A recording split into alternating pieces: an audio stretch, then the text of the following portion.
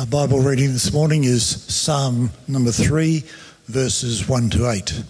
A psalm of David when he fled from his son Absalom.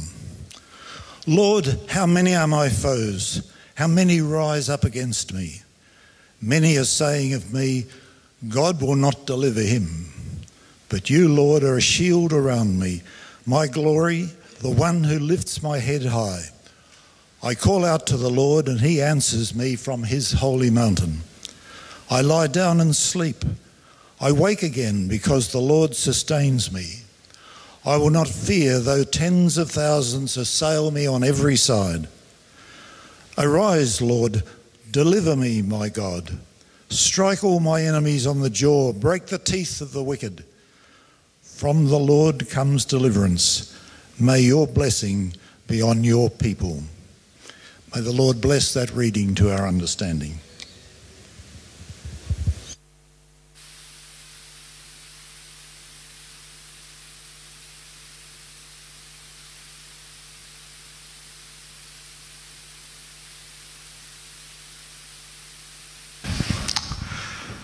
So, who loves jokes?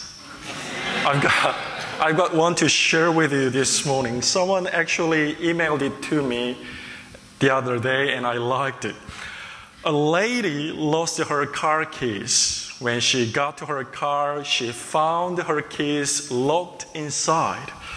She then found an old rusty coat hanger on the ground. She looked at it and said, Oh, I do not know how to use this. She bowed her head and asked God to send her some help.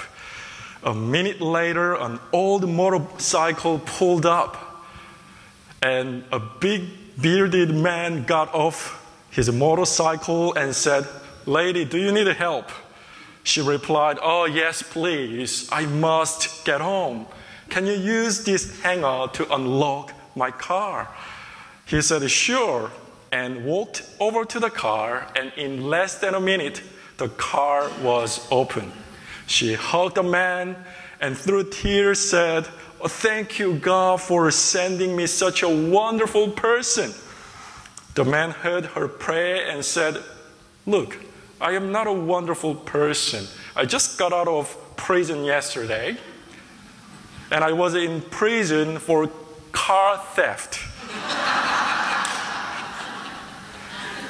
The woman hugged the man again, and he said, Oh, thank you, God, you even sent me a professional.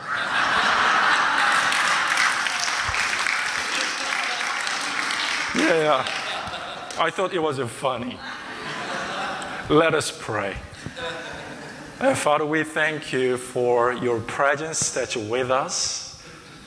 And we ask that through your Holy Spirit, you'd help us open our hearts, that we may hear your voice clearly and see your glory.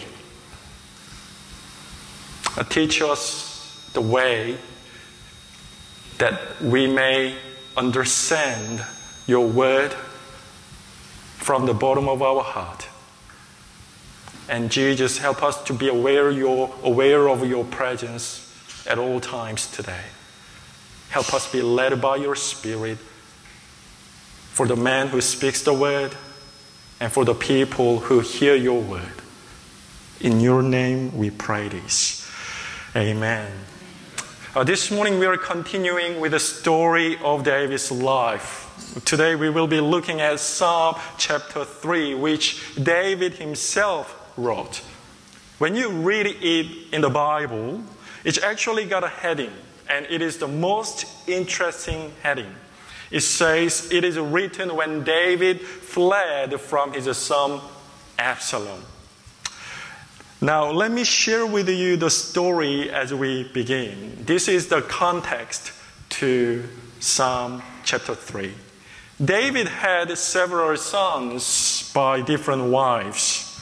He had the oldest son named Amnon, and there was his third oldest son, Absalom. These two boys were born of different women of David. And Absalom had a beautiful sister named Tamar. Amnon, his half brother, then fell in love with Tamar and he raped her. This became a huge issue in David's family.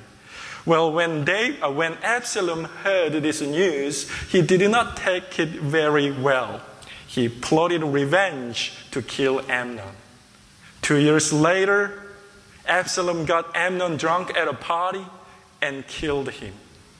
Then Absalom fled to hide in a remote place. David loved Absalom, but he was a king. He could not just let him get away with his crime, though. So Absalom got expelled and banned from the city Jerusalem for three years. Three years later, the king summoned Absalom to Jerusalem, but David did not want to see him, nor be seen with him in public. And now the big trouble came as Absalom returned to the city. Now that Absalom was back in Jerusalem, he became very, very arrogant. He provided for himself a chariot and horses, and wherever he went, he had 50 men to run ahead of him. He loved going to the city where many people would see him. And when he was there, he would sit at the city gate to meet those who were coming to see the king for judgment. Absalom said to them, let me hear your case. Oh, I hear you. I can see you're right in this matter. It's a shame that my father does not have anyone to assist you and hear your case. Well, if I were the judge, then I would give justice to people like you.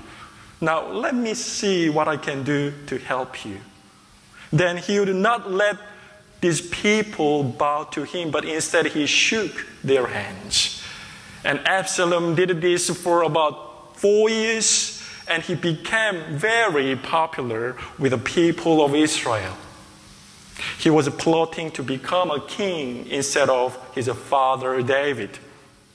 One day, Absalom said to David, Father, I would like to go to Hebron, which is the capital, all the capital city of Israel, to make a sacrifice to God to thank Him for bringing me back to Jerusalem. David approved, and Absalom took 200 men with him. When Absalom got to Hebron, he sent messengers to every tribe of Israel to say this. Now, as soon as you hear the sound of a trumpet, trumpets, you'll know Absalom has been crowned in Hebron. And many people supported Absalom's rebellion. While this was all happening, David in Jerusalem had no idea. He doubted that his son would do such a thing. Then one day, David had a messenger rushing into his court he said, My king, your son Absalom and his army started marching towards Jerusalem to take your life. What should we do? Hearing this, David's heart fell. Then he decided to avoid the war and the deaths of innocent people within the city. David mounted his horse with his head covered. And as he walked away with much of his household and 600 troops, he wept, and the people in the city wept. Without knowing where he was going, David left the city. And in this dark hour of his life, David wrote Psalm chapter 3. What Psalm 3 points at is that there are different seasons in our life, and some are really dark where we feel plunged into deep despair, confusion, and fear.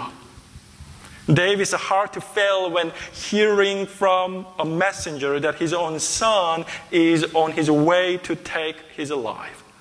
In life, we too have moments like that The message could be a doctor's report, it could be what our spouses say or what our children say, or it could be what we hear from friends. Our hearts fall because our deep love and trust is betrayed. Or we've always thought that something like that would never happen to us. This morning, do you feel like you're in the season of darkness for some reason? Psalm chapter 3 tells us that there is hope. It shows us how God carries us through the darkest night of our lives. In a dark season, one of the strongest feelings that dominate us is a feeling of anxiety. And this passage particularly talks about how we can deal with a feeling of anxiety in the ebbs and flows of life. And we see three things in the text they are the cause of anxiety, the healing of anxiety, and the assurance of the healing. With God's word this morning, I believe that some of us will come out of the other side of the tunnel. So let us begin. Now, let's begin with some facts about anxiety. The researchers say that anxiety is today a common experience they say this not because they think we should overlook when we feel anxious about something. They say this because the more we think about anxiety, the worse it could feel than what it actually is.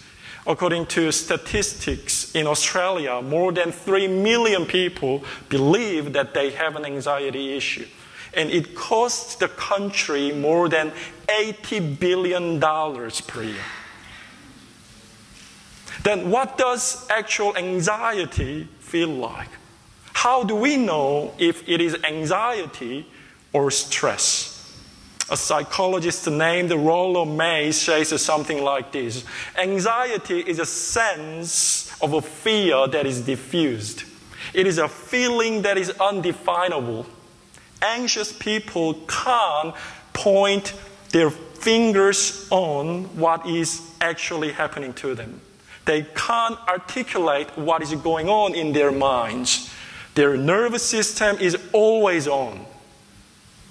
When we are anxious, we always feel agitated and nervous. We are always restless and scared. Anxious people constantly push themselves and always look around.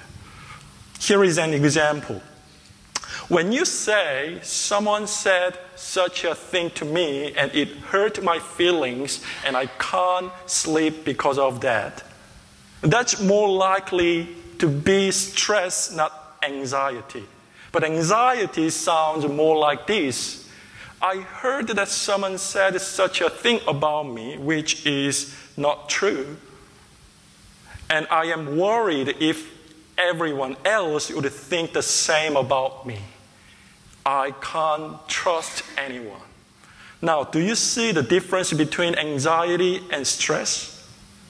As someone puts it this way stress is, a, is like a thunderstorm, whereas anxiety is like a cold drizzle. Thunderstorms come and go, there is a thunder, but when the sun comes out, everything is fine. But anxiety is like a cold drizzle. It is gloomy and raining all the time. Then, what is the cause of anxiety? Psychologists say that we feel anxious when our existence is threatened. What does this mean? Anxiety is caused when we feel that a sense of ourself is under attack. A person gets anxious when something that gives them identity, worth, and security is under attack. And we can see this is what's happening to David. Look at what David says here. Lord, how many are my foes? How many rise up against me? Many are saying of me, God will not deliver him. He says, They are my foes. They are against me. They are talking about me.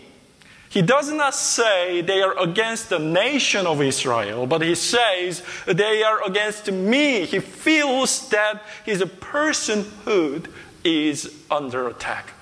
He's attacked by his son, so he feels that his fatherhood is threatened. He's questioning Was I such a bad father or husband that my own son is trying to kill me? And his throne was under attack. So David is questioning himself if he had failed in his career. David now feels that the two most important things in his life that define him are being taken away. And they are being a father and a king.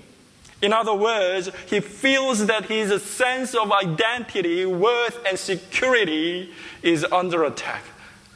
This morning, are you going through a dark night? Has what was important to you been taken away from you?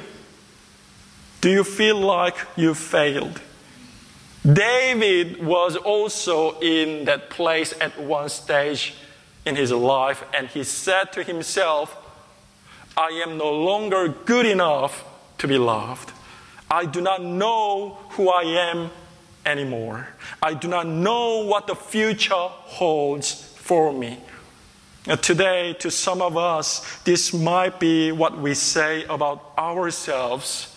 To some of us, this anxiety issue might have been a long time battle. But in the Bible, we see that God came to David in his darkest hour and lifted him up from the depths. And David wrote this psalm to tell us that God will do the same for you.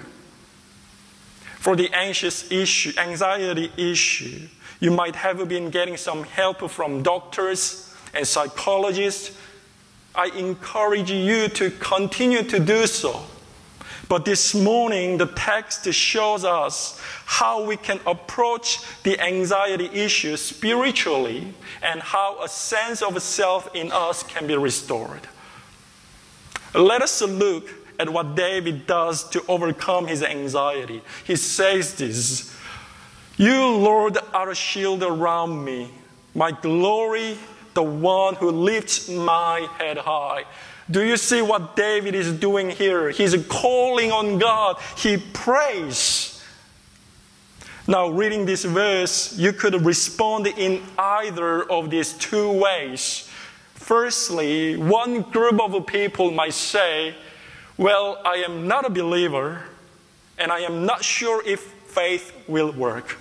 I am not even sure if God actually exists. Can He really help me? If that is you this morning, listen. Did you know that the studies have shown that 80% of what we worry about in our lives is nothing but an illusion? They say that 8 out of 10 things that we are worried about now will never actually happen. This means you're worried because you're a believer. You're already exercising your faith to be anxious. You are just believing in wrong things. The other group of people would say, Well, I'm a Christian and I've prayed many times that God would fix my problem, but my prayers never work. If this is you, can I gently say this? You have not probably tried the way David prayed. Here in this particular verse, David does not say, God, here is why I am this way. Heal me and fix my problem. No, no, no. In this particular verse, we see David praise God, you are my shield, my glory, and my head lifter. In his prayer, David focuses on who God is, not what his problem is. What this means is that David recognizes God as the source of his personhood. What does the shield mean? It means protection, it means security. In saying this, David sees God as the source of his security, not his throne. Then David says, God, you are my glory. What is glory? It means significance. In his prayer, David says, God, people have deserted me. No one likes me anymore, but that is okay because I know that you still love me. Then David says, God, you are the lifter of my head. In other words, David is just saying, God, I might have failed as a king and father, but I know you're still proud of me. When Daniel was born, my father flew in to visit us to see the baby. He was working in India at that time. When he came, I was going through a very interesting season of life. Gabi and I had just moved to a new city. We had just had a new baby, and I had just become a new minister. I was a little bit overwhelmed by all the changes in my life, and I was not sure if what I was doing was okay as a new dad, new minister, and husband. I questioned everything that I did. I became easily irritated and I felt nothing was actually in my control. And I got very easily upset with the small little things. Then it was the night before my father left us. He and I sat at a table and we had a chat.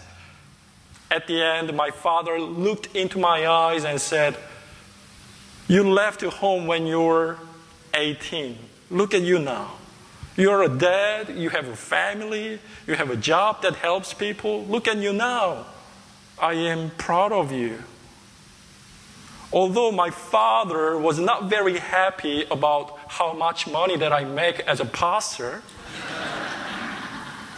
he said that he was proud of me. Those five words melted me, and I had to try very hard to hold back tears. His words actually made me think okay, I've got this. I can actually do this. I will be fine. When David was anxious and questioning everything about himself and what he was doing, he prayed. In other words, he had a chat with God. And then he realized that he still had God even when his world was falling apart and everything that he loved was being taken away. He heard God saying to him, David, you still have me. You'll never lose me. I still love you. I was always with you, and I know what you are going through right now. Don't you see? I will be always with you. David, you've come this far, and I am proud of you. That's what he heard. David prayed. He was a believer. He placed his faith in God's words, not the words of his enemy. And that got David out of despair. Friends, as someone said, what what we fear the most reveals what we value the most. It's been hurting for you because you loved and you cared. But look at the text. There is the one who is the true source of your security, your worth, and your identity. And that is God. He is better than our spouses. He is better than our children. He is better than our career. He is better than our health. He is better than our ministry. He will never leave us nor forsake us. Our world may fall apart, but what is that with us? We still have God. God is your shield. He is your glory, and He is the lifter of your head. Don't believe in the words of the enemy. place your faith in God's words? Would you put your faith in Him? Look at what faith in God does. Enables David to say this. He says, I will not fear though tens of thousands assail me on every side. I will not fear though tens of thousands assail me on every side. I will not fear though tens of thousands assail me on every side. I will read it one more time, but this time I want you to join with me. Let us read this verse together in faith. Can we do that? I will not fear though, though tens of thousands assail me on every side. Then you might ask Noah, how can you be so sure of his love? How can you be so sure that he will never leave us nor forsake us? How do you know God is a better and more trustworthy shield than my bank account or my career? On what basis are you making this claim? Let's go to verse 8. It states, from the Lord comes deliverance. When David wrote this is psalm, led by the Holy Spirit, he did not have a full understanding of what he was led to write here, but we do. The word salvation here translates the Hebrew word Yeshua this word is significant because it is the name of whom the Apostle John in the New Testament calls God who became flesh and made his dwelling among us, and that is Jesus.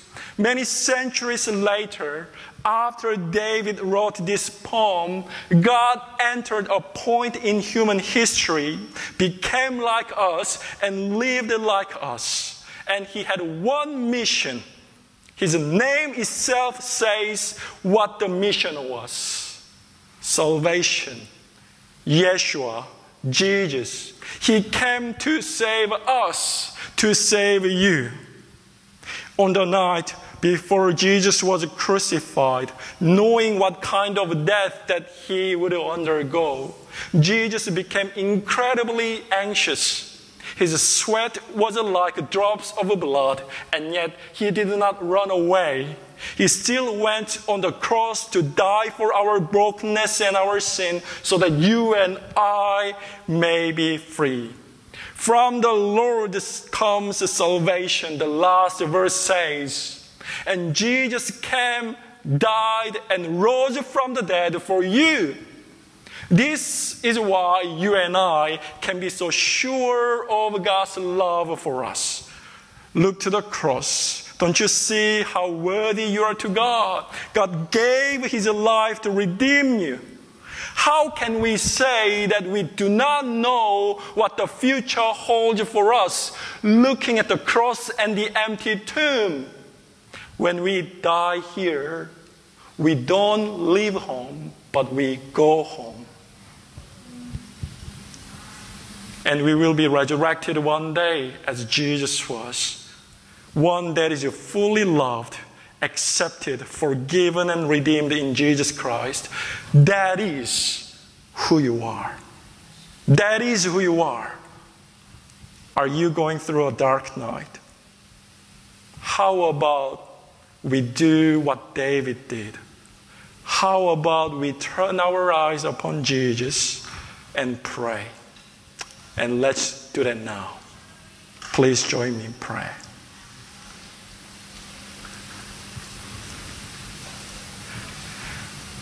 Paul wrote this in Philippians chapter 4. Do not be anxious about anything, but in every situation, by prayer and petition, with a thanksgiving, present your request to God. And the peace of God, which transcends all understanding, will guard your hearts and your minds in Christ Jesus. You know, friends, peace does not mean that you don't have problems. Peace means that your problems do not have you. Let that grab you. Let your pro- don't let your problem have a grip on you. Put your faith in the Word of God, which is alone true. But Father, we come to you this morning knowing that you are our shield, our glory, and the one that who lifts our heads high. Holy Spirit, would you help us that we may have our eyes fixed on you? As one hymn writer wrote, when our eyes are on you, the things of this world strange, strangely dim away, go away, and fade away. Speak to us, O God. Speak to your children this morning that they may lift their head up to fix their eyes on you. In your name we pray. Amen.